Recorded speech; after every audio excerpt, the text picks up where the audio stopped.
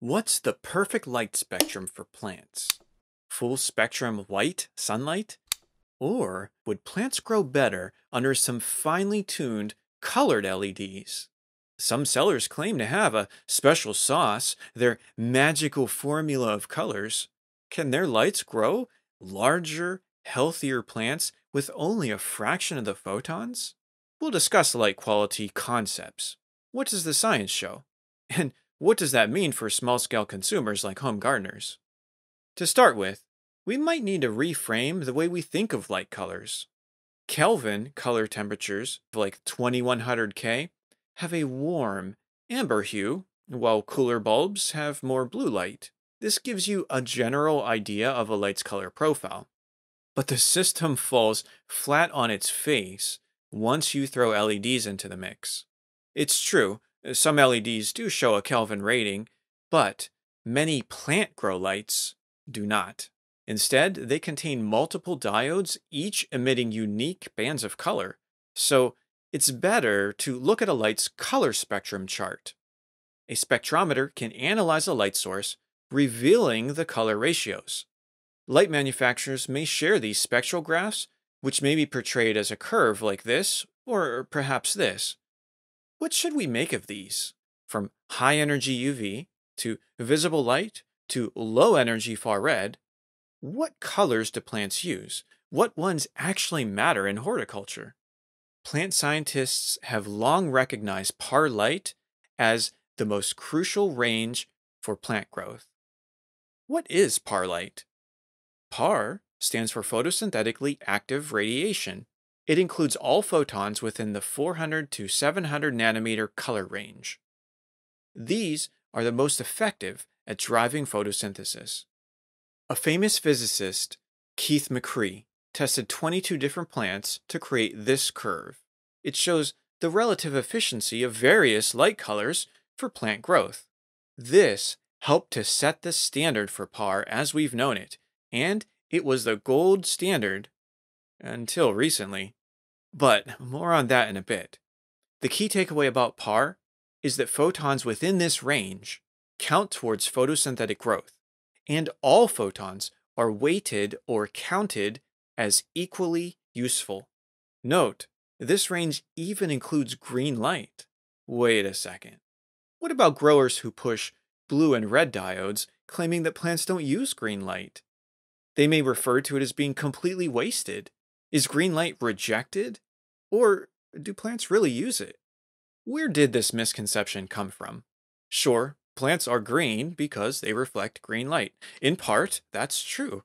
But in reality, green leaves of land plants absorb a substantial fraction of green light. If we look at a cross section of a plant leaf, we find that the blue and red photons are quickly absorbed in the upper surface. But green light is reflected many times as it scatters into the lower layers, ultimately driving photosynthesis. So, yes, plant leaves reflect some green light, but even that's good because it allows light to penetrate deeper into plant canopies, reaching lower leaves. In the end, most of the green light is harnessed for plant growth. But what about this chart? It doesn't help things when LED marketers misapply this graph of photosynthesis absorption spectra. People love using it to make green light appear useless. Even laying on that popular carotenoid graph still leaves a big gap. How was this data gathered, though? This is based on testing of thin algal solutions. Higher plants don't process light the same way. They have more complex structures. You know, like leaves. That's why we refer to McCree's curve instead of these reductionist graphs. For decades, researchers have shown that green light is useful and drives photosynthesis. Green photons might work, but wouldn't it be better to use only red and blue photons? Researchers tested this on lettuce and found green photons were just as effective as reds and blues, yielding the same amount of growth. Other research has shown unexpected benefits of green light as a means of helping with organic pest control. The point is, don't prescribe to the oversimplified mentality that plants only need one or two colors to thrive. They may live and grow, but that doesn't mean all other colors are useless or even wasted. And remember, photosynthesis isn't the only way light drives plants. They also respond through the process of photomorphogenesis. Various light colors can activate plant receptors, which alter shape or growth response. Take, for example, UV light. It does less to drive photosynthesis. Even so, plants have shown physiological responses to UV with improved disease and pest resistance. UV radiation can induce the production of secondary metabolites. Plants may activate genes that boost flavonoid concentrations, including those super healthy anthocyanins. At the other end of the spectrum, we have far red light. Plants are highly sensitive to it too. Historically, it was presumed that far red doesn't do much to drive photosynthesis, but it was shown to greatly affect plant development or morphology. Plants have special photoreceptors, known as phytochromes, which allow them to detect ratios of red to far red light. This can tell plants if they're under a canopy of taller plants, triggering them to stretch taller in response. Then there are cryptochromes and phototropins, which are blue light receptors. Have you ever noticed how plants in a windowsill grow towards the sunlight? Phototropins use blue light to do this. Plants also use photoreceptors to track day and night cycles. That's how long day plants, like spinach, know to bloom or bolt during long summer days. Meanwhile, short day cannabis strains track 12 hour dark cycles to trigger their reproductive phase. All across the light spectrum, you can find interesting ways that plants harness light for energy, or they'll use it as a signal telling them what sort of environment they're in. The more researchers experiment, the more complexities they discover. One significant shift in the horticulture industry relates to the adoption of EPAR as a superior spectral range for predicting photosynthesis. While conventional PAR drops off at 700 nanometers, EPAR extends the photosynthetic range up to 750 nanometers. This encompasses a large swath of far red photons. While these photons were previously discounted, researchers now assert that far red will also drive plant growth. On one hand, this is a big deal. It could explain why some HPS lights seem to have an edge over LEDs even when PAR photons are matched.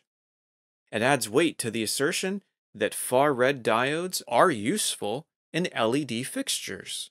At the same time, it shouldn't come as a big surprise. More than a decade before McCree's famous curve, Emerson had observed something remarkable. By combining far red photons with white photons, plants experience a synergistic effect. Known as the Emerson enhancement effect, this results in even more growth than one would expect for the number of photons emitted. As it turns out, plants use far red photons for photosystem 1. Think how this can benefit plants.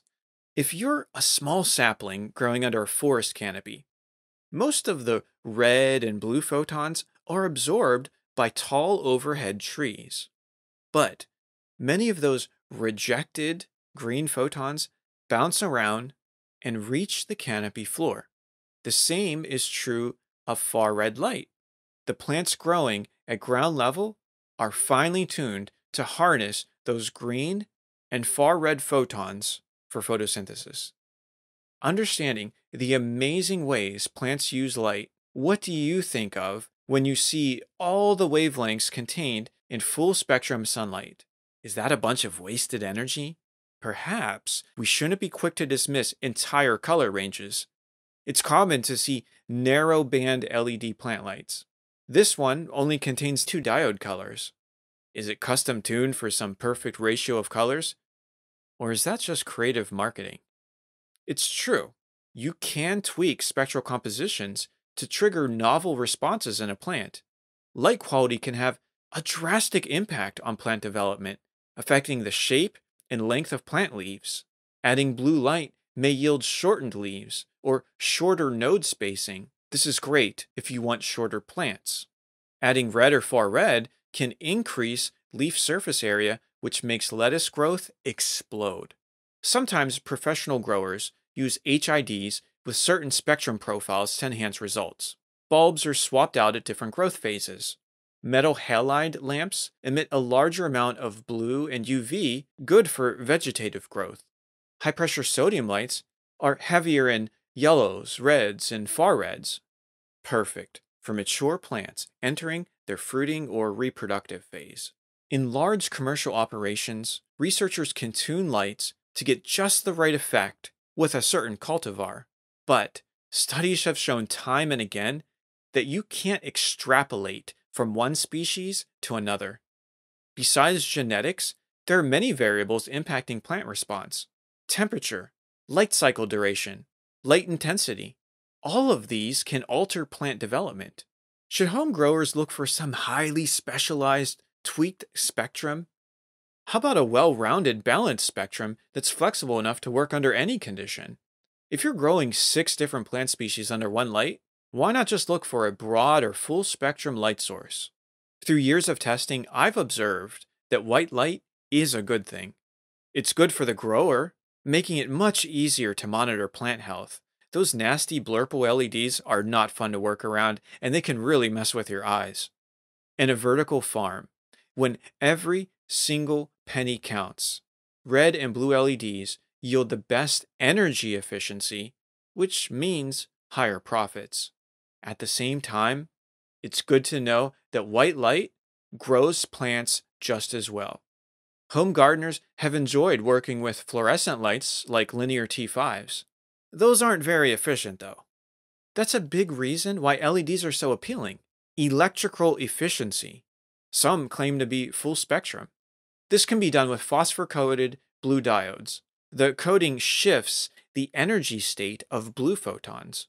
The result is a mixture of wavelengths that produce white light.